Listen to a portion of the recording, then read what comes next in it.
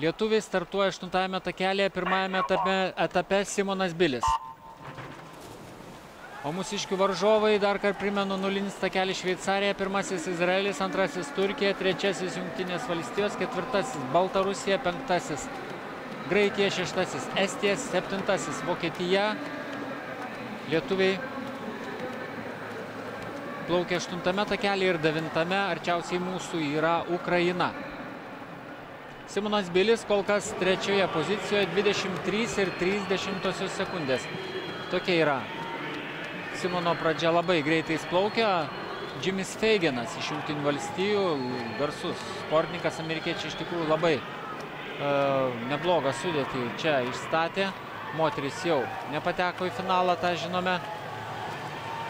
Pasižiūrėsime, koks bus laikas. Pirmas finišuoja amerikietis Simonas Bilis, 49 ir 47 šimtosius, 49 ir 49 šimtosios sekundės.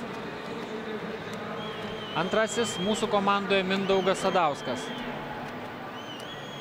O Antonis Irvainas, Jungtinių valstybių sportininkas, veda savo ekipą į priekį. Lietuviai kol kas antri bet e, mūsų komandos stipriausiai etapai ir yra pirmas ir antras. Tiek Simonas Bilis, tiek Mindaugas Sadauskas. Simonas Bilis čia startuos 50 metrų laisvojų stiliumi distancijoje. Mindaugas Sadauskas plauks 100 metrų.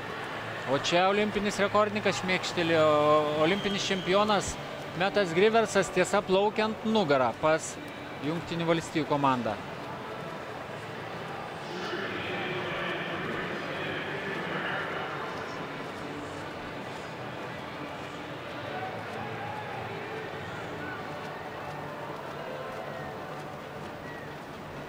Labai stipri yra vokiečių komanda. Na ir nuostabų laiką Štefanas Daibleris antrajame etape jisai pademonstravo, suvalgė Antonį Irvainą iš Jungtinių valstijų. Ir Metas Griversas turės pakovoti. O Mindaugo Sadausko rezultatas 49 ir 78 šimtosios sekundės. 30 praščiau nei Simono Bilio. Nors e, Mindaugo Sadausko startas, pavadinkime, buvo nuo bokštelio na, leidžiantis demonstruoti geresnį rezultatą. Ir ketvirtasis etapas, Povilas Strasdas e, savo distancijos dalį įveikė per 50 ir 33 sekundės ir finišuoja pas mus Tadas Duškinas. Jungtinės valstijos, Vokietija ir Graikija. Pas amerikiečius Konoras Dvairis, pas vokiečius Polas Bidermanas, pas graikus Andrėsas Vazajosas. Konoras Dvairis užtikrina pirmą vietą amerikiečiams. Polas Bidermanas, ne, vis tik tai lygiosiam. Amerikiečiai su vokiečiai sužaidė, pavadinkim, lietuviai septinti. Lietuvių rezultatas 3 minutės 20 ir 15 šimtųjų sekundės.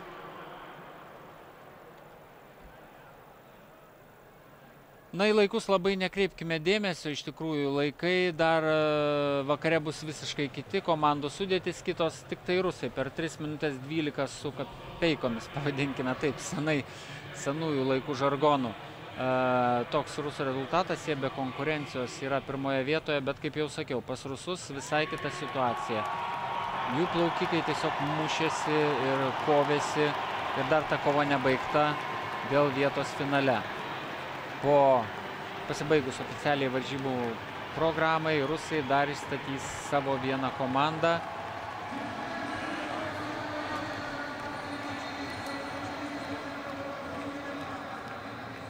Na, žiūriu, viskas atrodo tvarkoje.